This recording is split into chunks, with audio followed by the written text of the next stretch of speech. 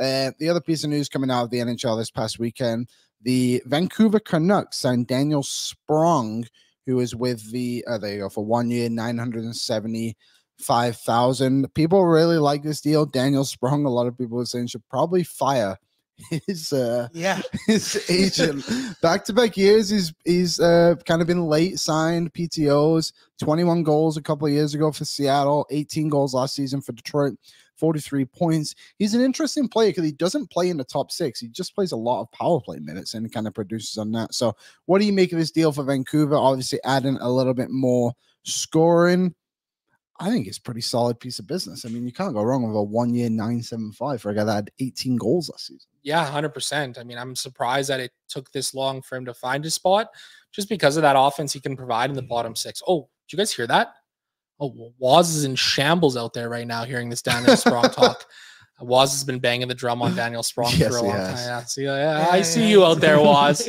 I see you out there. He comes walking up to the window. He's like, what the? Um, yeah, no, I think it's fine. I think it's a fine Yeah. piece of business. A little offense in the bottom six for him, but I don't know. I hate it because it's good. He's a good player. Dude, 18 goals for not a million dollars. Yeah. That's nuts to me. Yeah, His, fire, uh, fire your his- agent right now.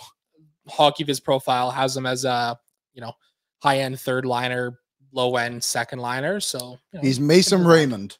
pretty much. Ooh. He's had a couple spikes Yeah. in his career too. Canuck. Funny enough, like Yeah. 22, 23, he was contributing at the level of a high end first liner, which is pretty incredible to see. I'm And obviously, these things you kind of take with a grain of salt to a certain extent with these these kind of charts. But you know, when you isolate a player's impact, it's kind of interesting to see the way that uh, these players all fit into the mix. I, I, I suppose. I'm surprised he's not your favorite player in the NHL.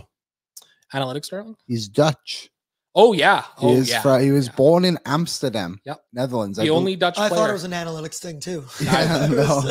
the only Dutch player in um, the NHL, I believe, played his junior hockey in, in Charlottetown in the QMJHL. So funny story. Um, with the Cup Finals going on, obviously Coombsy and I had media credentials, Mm. and so um, there was a journalist uh, named Core who traveled from the Netherlands Oh, to Edmonton for the Cup Finals. He was here for games three and four, and um, we got talking. And of course, he had brought over some stroop waffles from from the Netherlands, which are absolutely a delicacy. They're like a, a little wafer cookie with caramel on the inside of Mm-hmm. them. They're unbelievable.